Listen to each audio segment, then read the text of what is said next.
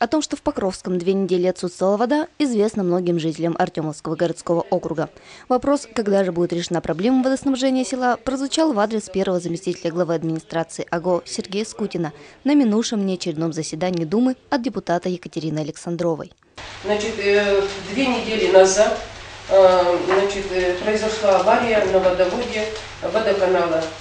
Значит, парализована работа ФАПа, парализована работа всех социальных служб. Значит, люди без воды две недели. Значит, обратились в прокуратуру, обратились в Роспотребнадзор, обратились к администрации, но пока воды так и нет. Э, Дело, значит, уже чрезвычайной важности. Я прошу ответить Сергея Владимировича. из-за аварии на водоводе, который э, принадлежит собственник компании «Экология», поселок Кулис Ухоложского района. Э, неоднократные побуждения через прокуратуру, через э, все возможные доступные, так скажем, методы привели к тому, что за прошедшее с начала аварии время силами ГТЭК был только выкопан котлован на месте аварии. Предпринято две попытки откачки воды для того, чтобы определить. То есть э, силами ГТЭК, которая ну, арендовала до вчерашнего дня данный участок водопровода у компании «Экология», э, авария не была устранена. Э, Вчера в соответствии с решением арбитражного суда, который утвердил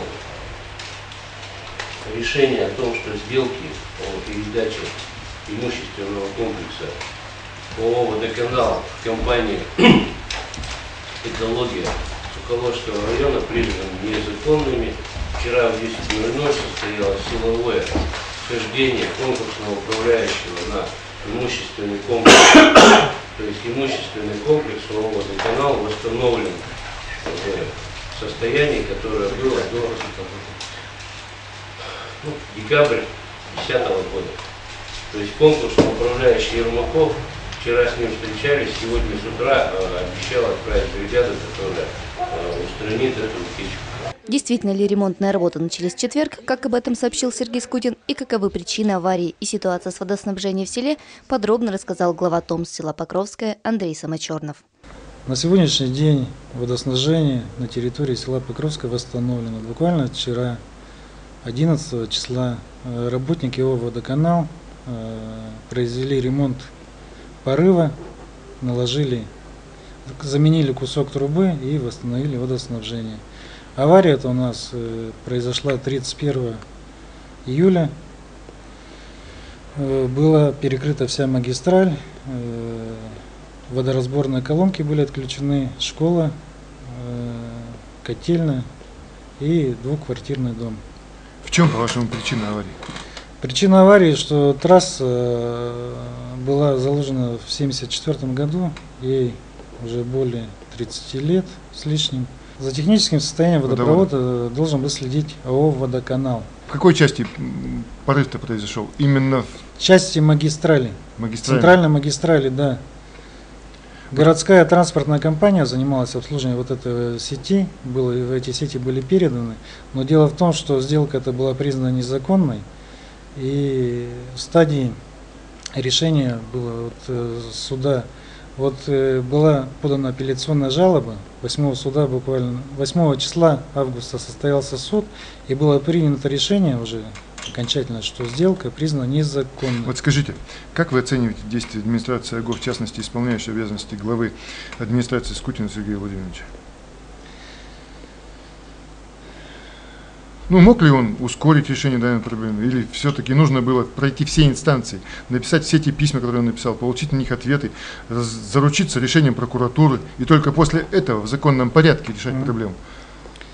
Но вот э, со стороны администрации городской, со стороны ТОНС были приняты все меры по устранению вот э, этой аварии.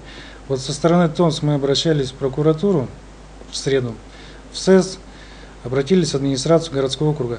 Но в связи с тем, что ООО «Водоканал», которая сейчас приступила вот, э, к работам на данных сетях, не могла приступить по той причине, что сети были не их. Вот э, наш, с нашей стороны мы ускорить этот процесс не могли.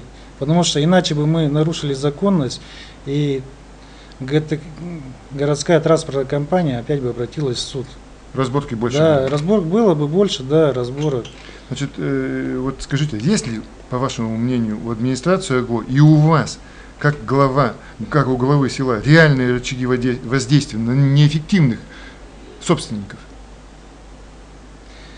Но у нас какие воздействия, как, вот, как у председателя Томс, единственное, что я могу обратиться в надзорные органы и санэпидемстанцию. Эти Но действия были произведены? Эти действия были произведены, да. Никаких больше таких вот мер я э, данным, Вот данному скажите, предприятию принять а кто могу. является депутатом по Покровскому территориальному? Депутатом является Александрова Екатерина Александровна, которая тоже постоянно занималась этим вопросом, тоже связывалась и с Церещиком, в Екатеринбург звонила, и сюда водоканал.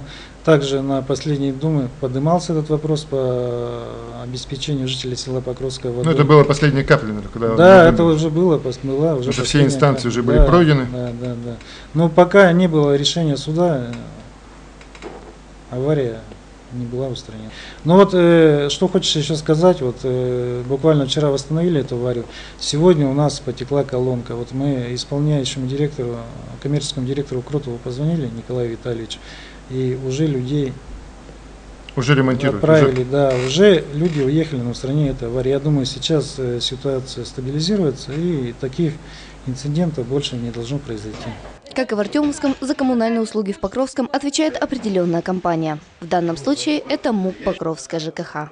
В частности, вот она, у нее есть водонапорная башня, она предоставляет услуги по теплу и снабжению жителей холодной водой только в той части, с кем у нее заключены договора. Вот эта часть колонки, вот эти вот все вот, э, это вот у нас... Внутренняя разводка, будем говорить, является ихней.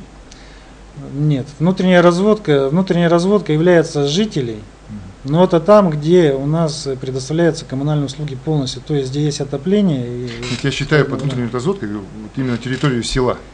а территория села, это у нас вот, э, у них ходит э, водопровод, это вот центральная котельная, котельная Бурлаки, котельная и юбилейная. А все, что связано с этим водопроводом и колонками, это на балансе у нас было вот, вот транспортной, городской транспортной компании. А почему не передать на баланс именно вот было бы больше порядка, наверное? Но я не считаю, что было бы больше порядка, раз они сети находятся у них на балансе, они транспортируют, и они добывают эту воду. Я Они думаю, получают я это думаю, деньги. да, это деньги. Я думаю, это правильно, что у них на балансе. Просто вот, но стечение обстоятельств такое, что вот именно вот в этот момент вот так вот все произошло. Но одно радует, что это произошло не в зимний период, потому что у нас бы могла котельная остаться без воды. Скажите, а кто является э, директором этой МУП вашей? МУП, тоже депутат наш, Александрова Екатерина Александровна. Значит, она, по идее, по своим обязанностям должна была первая бить тревогу, да? Она и била тревогу, да. Потому что мы везде, во все инстанции, неоднократно, не раз в день звонили, выезжали, смотрели. В пятницу у нас на той неделе они раскопали траншею.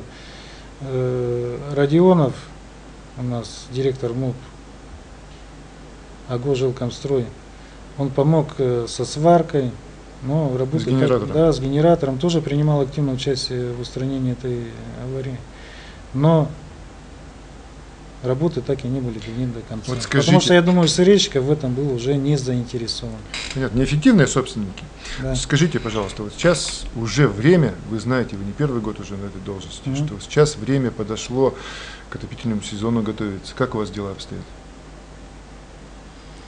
К отопительному сезону у нас э, котельные, косметический ремонт проведен. Ждем котел, который будет устанавливаться на, центральной котельной. Сейчас придут выпадающие доходы и ну, будем рассчитывать э, за, за уголь и закупать новую. Ваши должности по углю перекроют этими выпадающими? Нет, не перекроется. Какая Наверное. сумма долга? Сейчас я не скажу, какая сумма. Около 7 миллионов была. Понял все.